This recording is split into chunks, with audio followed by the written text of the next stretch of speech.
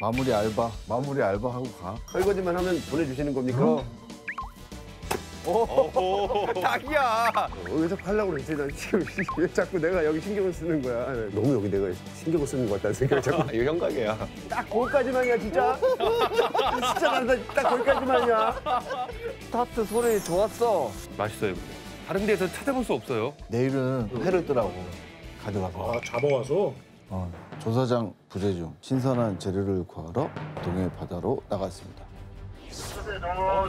뭐야? 이거 뭐야? 바다를 잡. 아, 이거 뭐야? 이거 파도야? 아 근데 세다.